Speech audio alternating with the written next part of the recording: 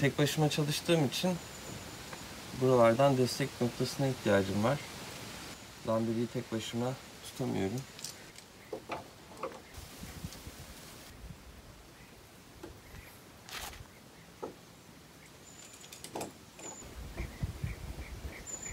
Bu orta kısma bir parça vidaladım.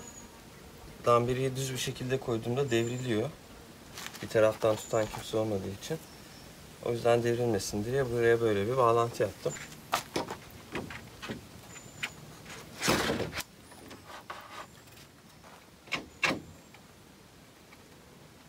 Lamberileri çatlatmamak için e, önce ince bir matkap ucuyla deliyorum.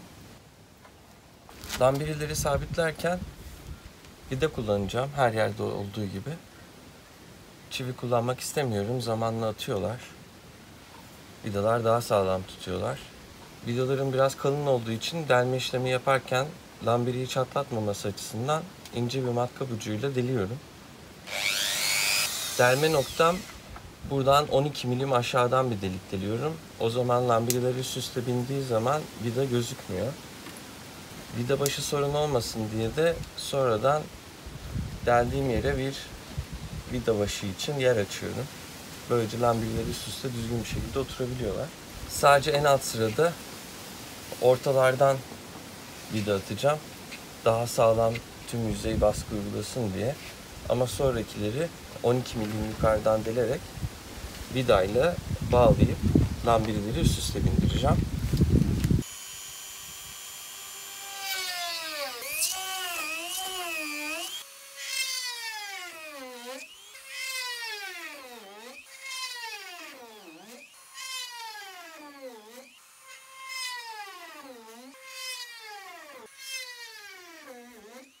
Vidaların başı daha iyi oturması için bir miktar vida başı için yuva yapıyorum. Farkındayım deli işi. Çivi çakıp geçebilirim. Çok daha az yeter. Bu kadar uğraşmak, bu kadar emek vermek size çok gereksiz geliyor olabilir. Ama hem dışarıdan bakıldığında vida ya da çivi gözükmesini istemiyorum. Hem de böyle yapmayı tercih ettiğim için böyle yapıyorum.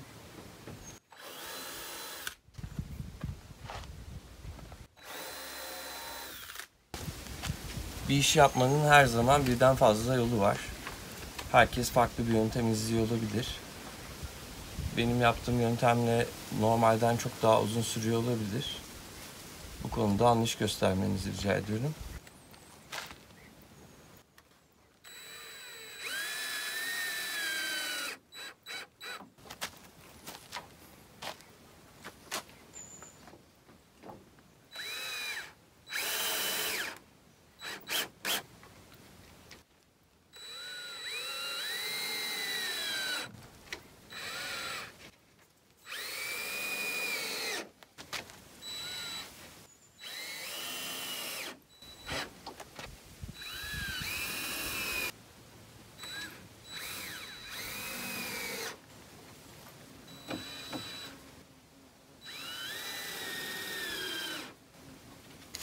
Vidalar çok sıktığı için ikinci lambiri üzerine rahat oturtamıyordum. O yüzden vidaları gevşettim. Şu an bağlı değil alt parça. Fakat gönyesinde ve delik yerleri de hizasında. Şimdi bunun üzerine ikinci sırayı koyduktan sonra burayı sıkılaştıracağım. Ama diğerlerinde delik vidalayıp delik vidalayıp şeklinde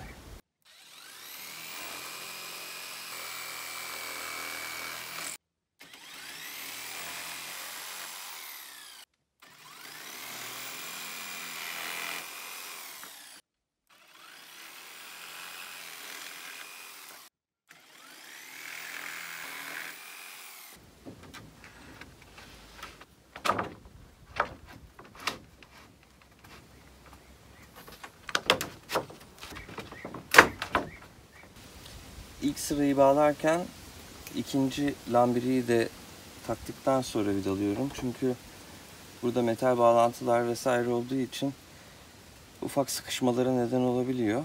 İlk sırayı böyle şekilde bağladıktan sonra diğerlerini yapmaya devam edeceğim.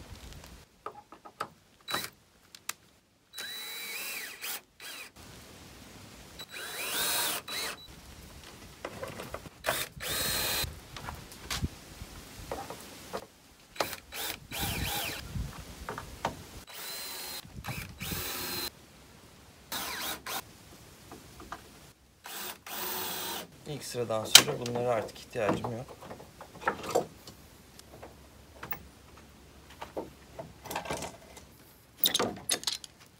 En alt sıraya daha iyi baskı uygulaması için ortadan vida atmıştım. Ama bundan sonraki vidaların gözükmesini istemiyorum. O yüzden yukarıdan 12 milim işaretleyip 12-13 milim işaretleyip vida buraları çatlatmasın diye önce ince bir delik deleceğim. Ondan sonra da vidalarla buraları monte ettikten sonra üst üste bindirdiğimde vidalar altta kalacağı için gözükmeyecekler.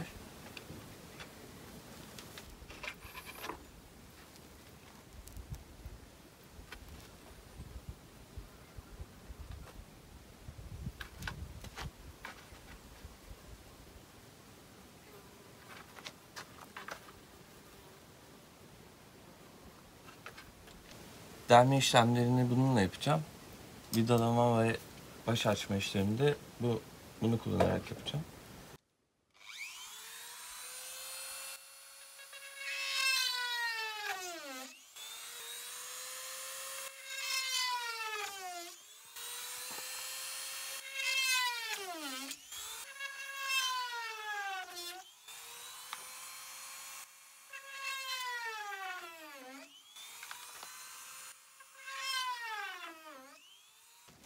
Vidaların gireceği yerlerde vida başının oturması için ufak bir vida başı için yer açacağım.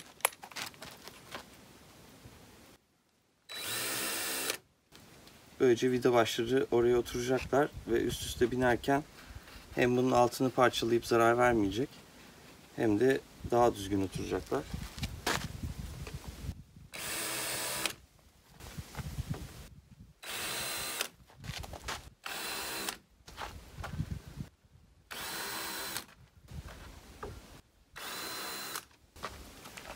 Üst sırayı yerleştiriyorum.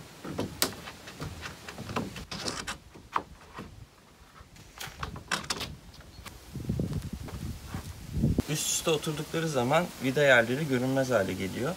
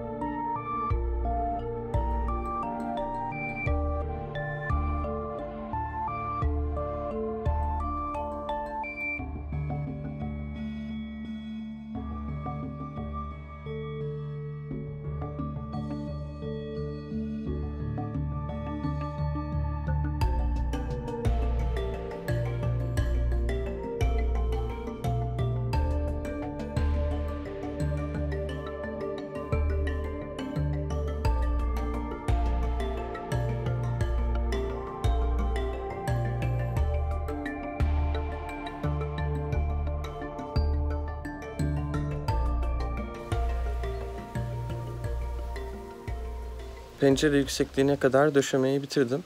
Şimdi ön tarafın pencere yüksekliğine kadar lambirleri döşedikten sonra diğer tarafları yapmaya devam edeceğim.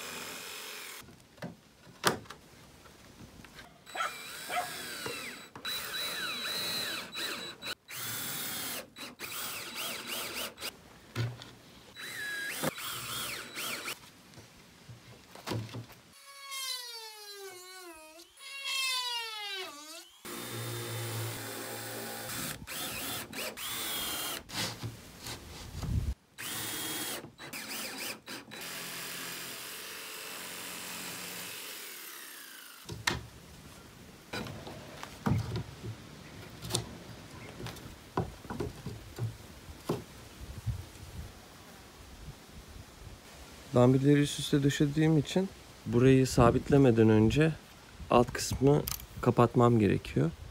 Buralara takoz koydum. Alt sınırımı belirleyebilmek için. 3 santim bir fazlalık oluyor. En alta döşeyeceğim lambiriyi alttan 3 santim kesip ona göre döşeme işlemine devam edeceğim.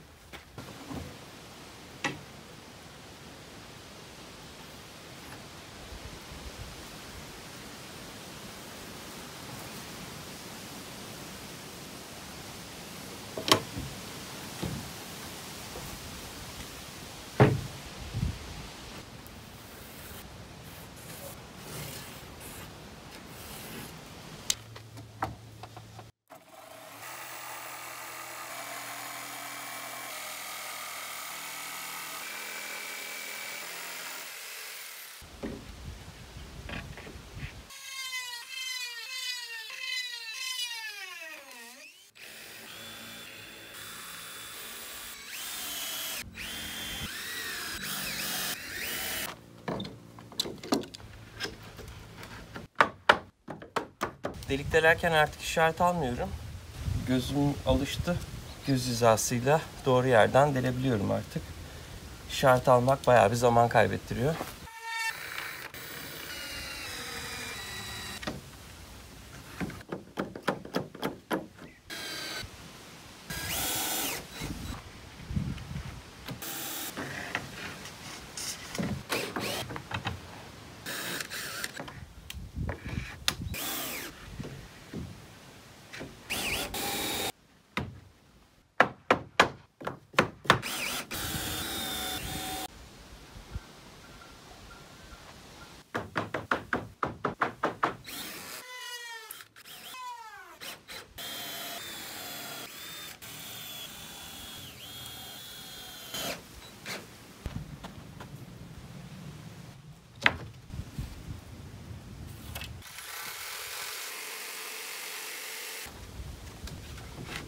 Burası kastığı için burası tam oturmuyor. O yüzden o vidayı gevşettim.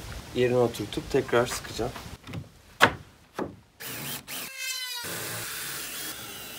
Bu ek çizgileri hep aynı yere denk gelmesin diye bir 6 metre bu tarafta, bir 6 metre o tarafta kullanacağım. Çizgiler aynı noktaya denk gelmeyecekler.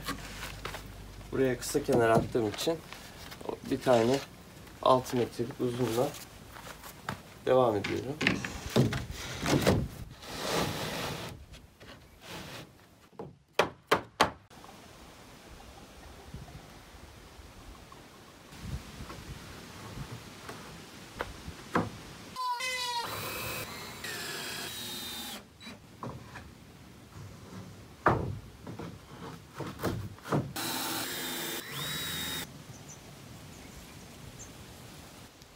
Evin alt kısmında olan pencerelerin olduğu kısma geldim.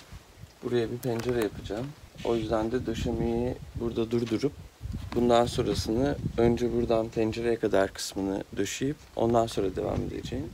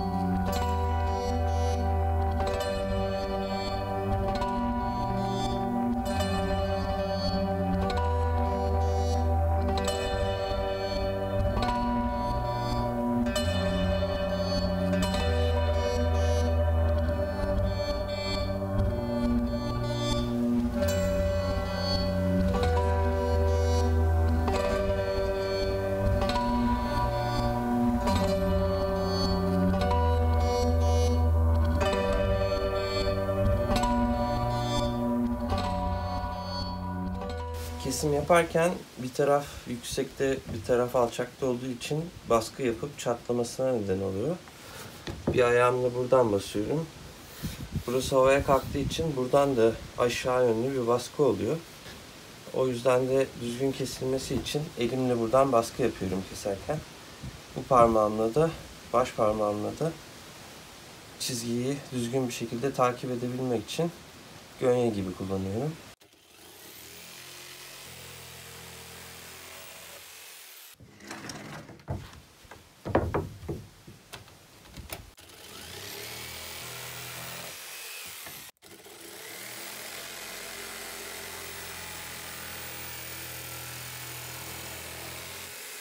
Pencere aralarına gelecek kısımları kestim uygun ölçülerde.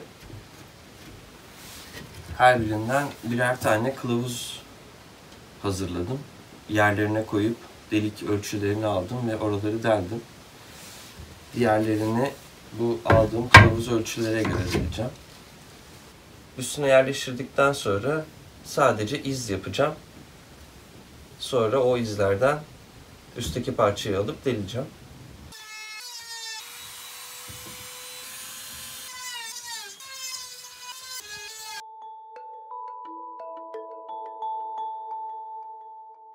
Tüm parçalarda iz yaptım. Şimdi onları delip bir de başlarını açacağım.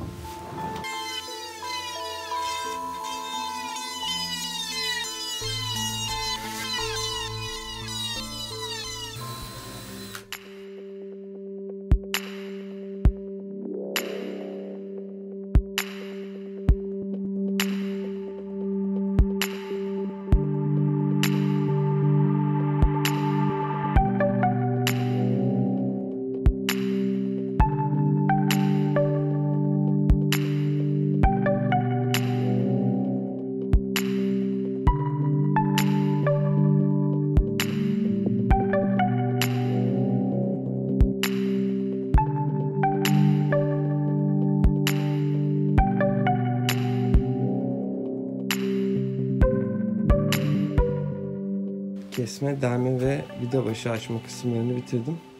Hadi şimdi bunları döşeyelim.